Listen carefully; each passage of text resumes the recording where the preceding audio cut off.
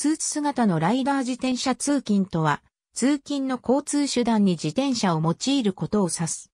自宅から最寄りの鉄道駅、バス停留所まで自転車を使い、そこから公共交通機関で通勤することも含む場合があるが、本校ではこれを除いたものを扱う。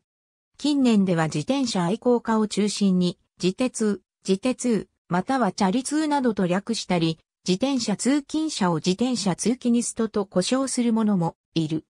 ヨーロッパ諸国やアメリカでは国家や都市自治体が自転車通勤について推進策の策定や数値目標の設定をしている例がある。日本国内にも自転車通勤を推奨する例が見られる。2001年3月、名古屋市役所は職員の通勤手当改革を実施した。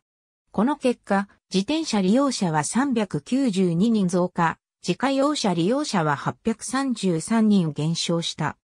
この改革は環境都市の確立を目指し、短距離自動車通勤の抑制と自転車利用の促進を図ったもので、金銭面だけでなく、環境への貢献という心理的な後押しも効果を発揮したとみられている。環境を意識した施策であるが、発案は直接環境関連業務に従事しているわけではない給与化によるもので、給与化は移動時期になると健康のためにもなると PR している。また職員用、シャワールームの設置など、設備面の整備も進んだ。自転車部品最大手のシマノでは、通勤手当を自転車の種類によって月2600円から5000円までの範囲で支給している。社員の3割が自転車で通勤する。駐輪場には常に300台以上並び、警備員も配置され、その2階には風呂も完備している。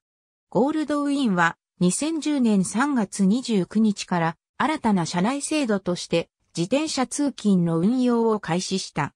小倉掃除、自転車利用促進のためのソフト施策、欧米先進諸国に学ぶ、環境、健康のまちづくり行政、2006年、172ページ。ISBN 43億2408万70。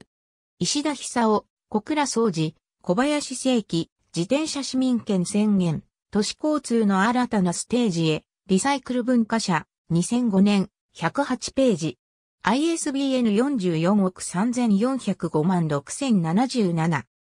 風切って通勤増えてます。朝日新聞2005年5月13日朝刊25面、ゴールドウイン、顧客視点の浸透と、社員の健康、エコ通勤による環境意識の向上を目指して、スポーツ業界初の自転車通勤を社内制度化、ゴールドウイン、http コロンスラッシュスラッシュ www.goldwin.co.jp スラッシュコープスラッシュパープルスラッシュ2010スラッシュ05スラッシュ post ダッシュ 31.html2011 年7月5日閲覧ありがとうございます。